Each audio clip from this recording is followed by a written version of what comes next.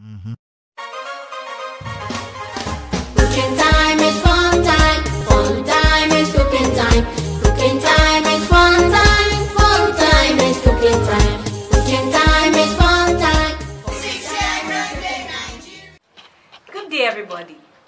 Welcome to Children Can Cook. Happy Independence Day. Nigeria is 60 years old today, and we are happy. Our children are happy. Yes, some people say there is no need for us to celebrate, but the truth is, we have a cause to celebrate. Thinking back from where we are coming from and then where we are today, this 2020 is enough for us to say, Thank you, Lord, because we are alive. Remember, this COVID killed several people in some countries, and in some countries, there's still lockdown. But we are able to come out and walk again. So we have a cause to celebrate. Today, I have some children with me to tell us a lot, the, all the things they know about Nigeria, their culture, our food, and every other thing, and what they want Nigeria to become. But stay tuned as we have a discussion. Thank you.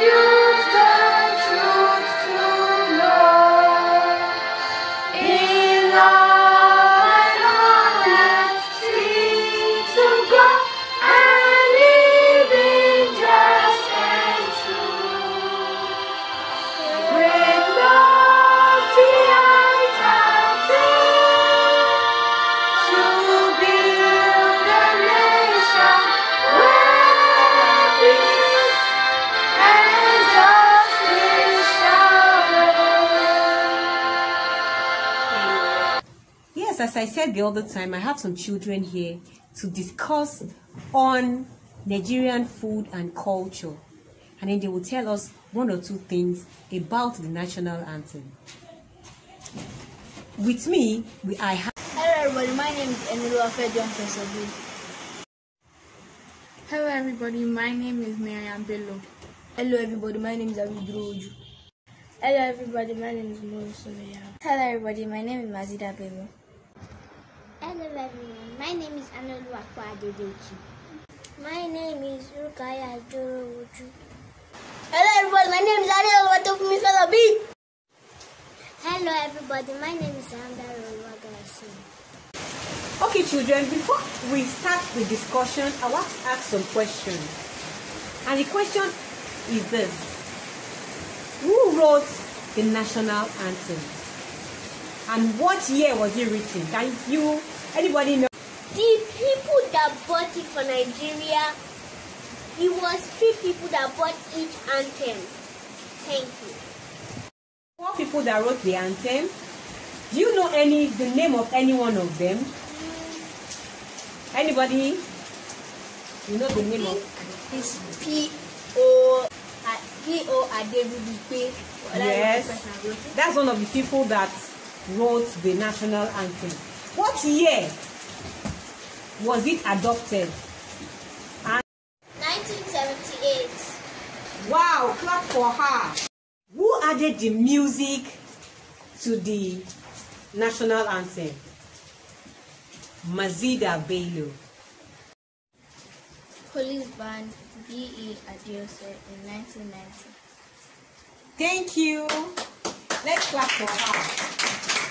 I have one more question to ask. And I want to ask Ayodare Darasimi, how many years have we been having that? Did we have the instrumentals?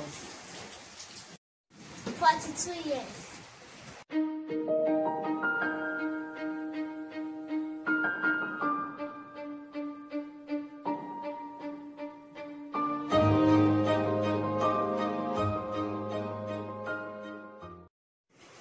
Now I want to ask you some questions. You know, what do you know about Nigerian food and the culture? Miriam Bello. Since there are different parts of Nigeria, like the north side of Nigeria, west side, south, different parts of Nigeria, they come, food comes from different parts of Nigeria. There is food that they make in the north, food that they make west, food south, everything. So, food doesn't come from just one. Food doesn't just come from Nigeria as a whole. It comes from different parts of Nigeria. Like there's food that mostly the people that stay in the north eat. There's food that mostly the people that stay in the west eat. Food that mostly people that stay east, south, all the parts of Nigeria. So food is fo- Nigerian food is a part of who we are. It's a part of our culture. It's a part of how we grew up, how we live in Nigeria, basically. So, Thank you, Miriam. I'd like to ask Eni Oluwafe, Yes, ma'am. what do you know about our food and culture? What I know about Nigerian food and culture is that it's so diverse that food comes from every single state, place, city, town, and everywhere in Nigeria have their own food they like. And even in different seasons, we have different food. Yes, we also have the seasonal foods because in some seasons, some things cannot grow. So we have seasonal food, and our food is so diverse, and we have so much cultures that I cannot name everything. We have more like more than two over 200 cultures in our country, Nigeria, and every culture has their own food they like. Like, I'm going to talk about the Ijebus. They love tuber foods.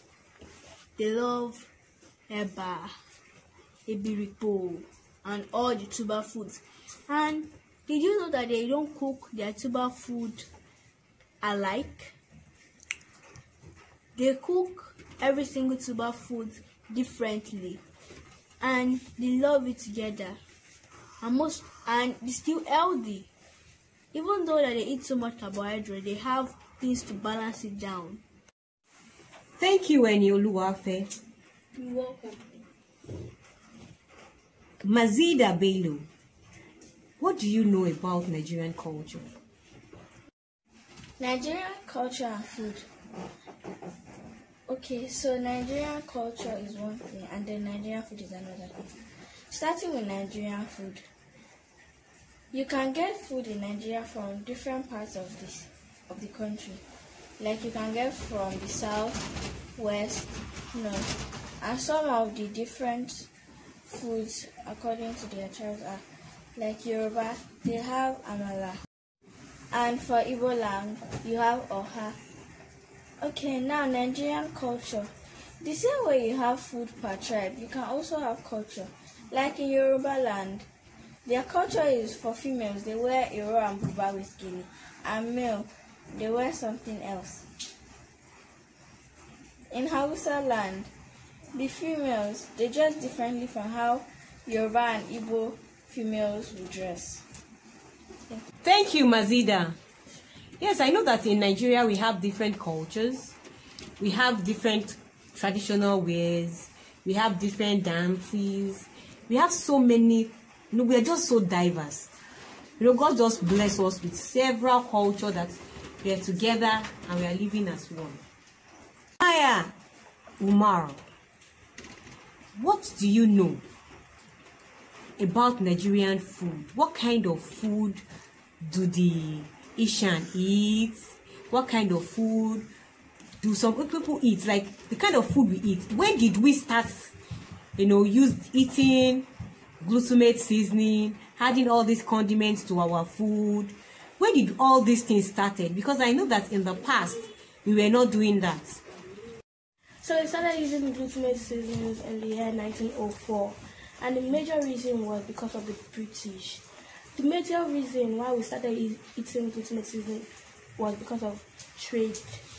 So it's um it's like made way for other goods in their country to come into our country. So they use glutamate seasoning. Basically, they use glutamate seasoning before. So they brought it into our country, and then it all started coming into our country. Like they started selling it and stuff like that. And some foods that we have in Nigeria are we have pate. That is basically made from rice or acha. We have um, we have fura. That's like cow milk, I guess. We have edikang ikong. We have ebiripo. We have ekuru. We have banga soup. We have corn soup. We have gbegiri soup, and so on. It's too much that I can't even say up there. Thank you, Sumaya. You are right. We never used to eat glutamate seasoning and all this foreign food before until recently. Before we used herbs, spices, and all others to, to cook our food. For instance, some of the glutamate seasoning company started not too long ago. Like some started in the 90s, some started 1995, 98, 1990, and and the likes. So, what were we eating before then?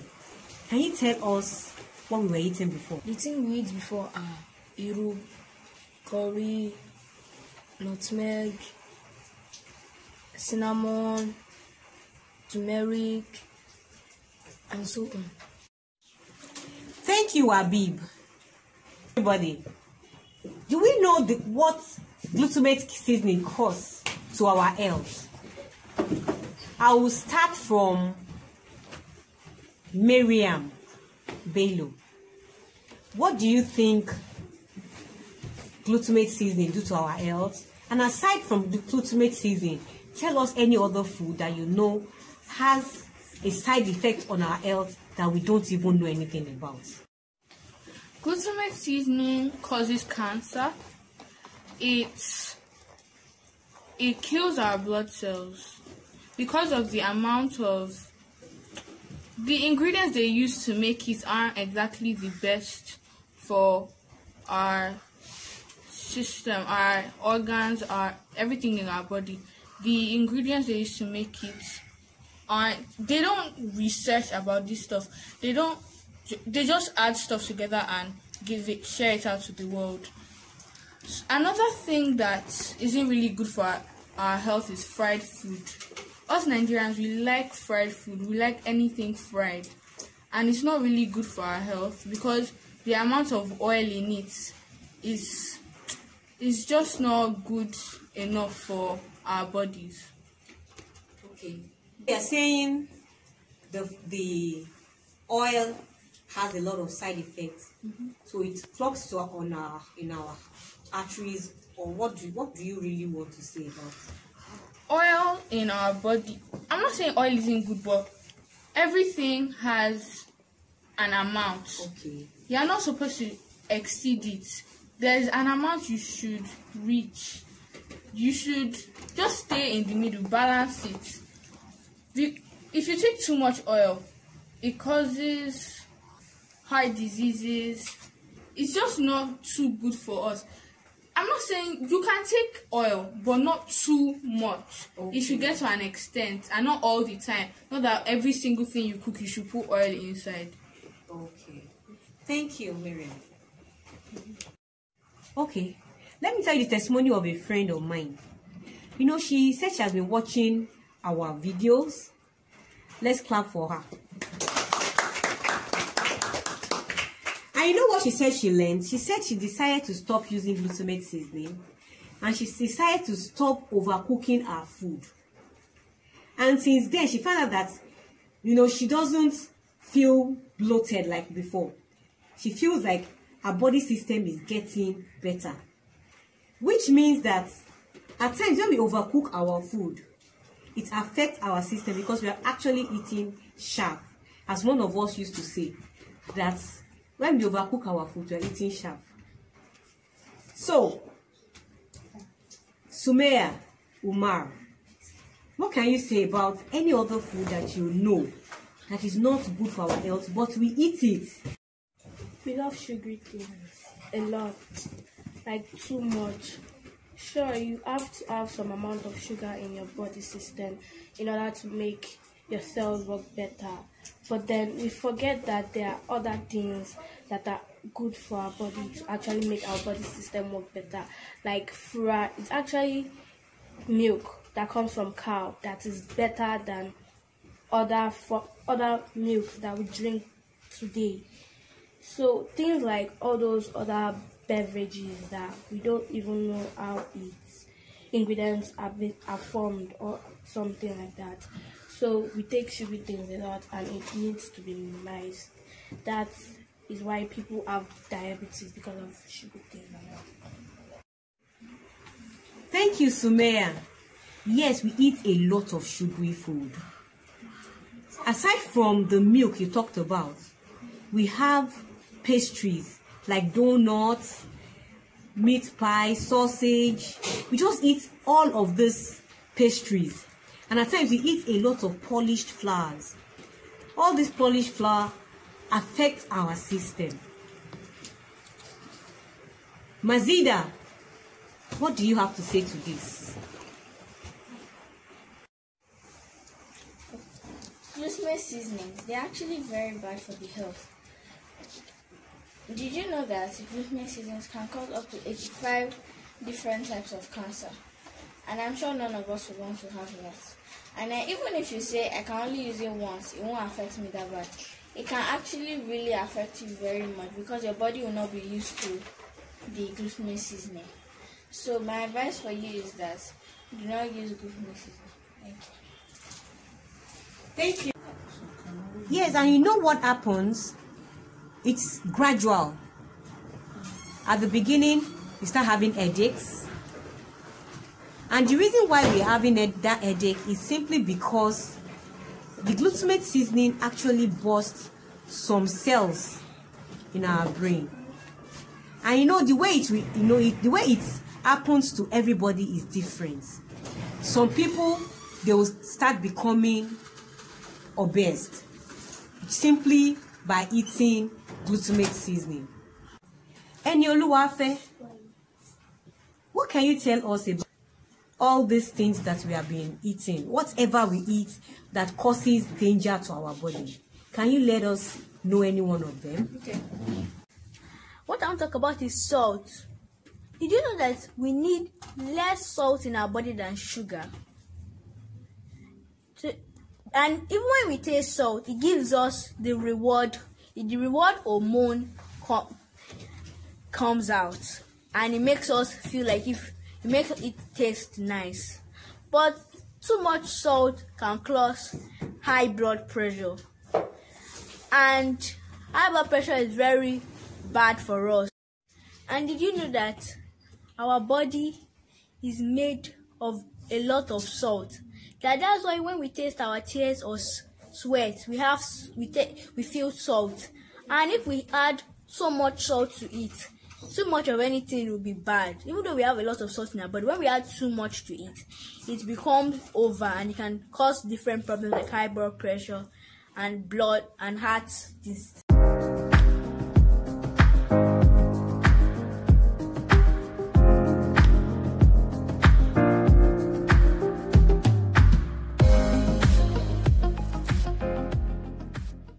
Okay, what do you children have to say to our parents? Anybody has something to say to our parents at home? Parents at home, make sure you take care of your children and you make sure you don't use flour and you use with durum. And if you don't have grinded rice, grinded rice, you cannot buy fresh normal rice and unpolished rice. They don't mill it. You got, got your rice flour to make your any food you want to use to make with flour. Thank you. To parents, all I have to say to parents out there is that it's better to prevent something than to cure it. So take care of your children and give them healthy things instead of unhealthy things. At home should eat healthy food for their children. They should cook balanced diets like beans, yam, and rice. They should not eat unhealthy food. Thank you.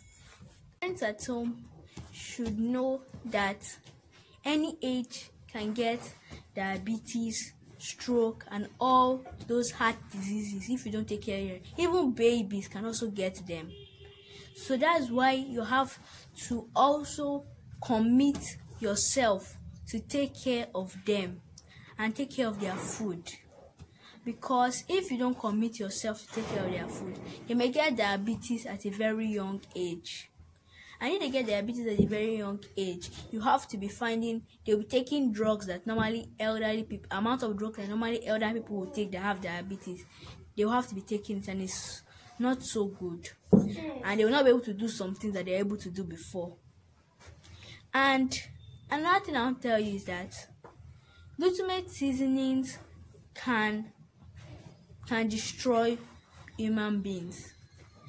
It can number one the, the way it causes headache is that in the neurons pathways what makes us able to remember everything and stores and allows us to do some things it will, they will come there and destroy them and we'll able have headaches and stuff like that so do not take glutamate seasoning and if and if you have to check your child's allergies check if he has any allergies.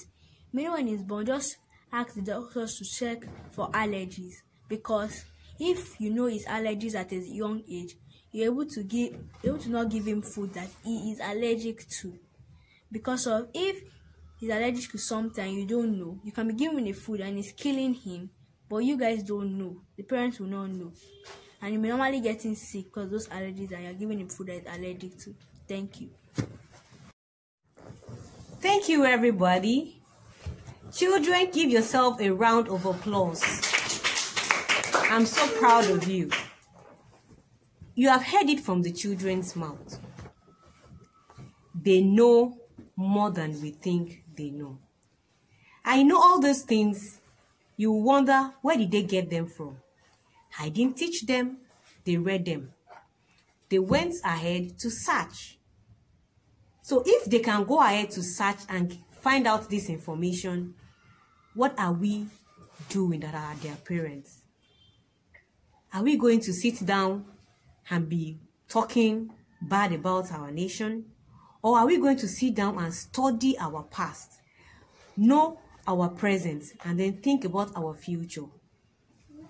Till we meet again, we are saying, Children can cook.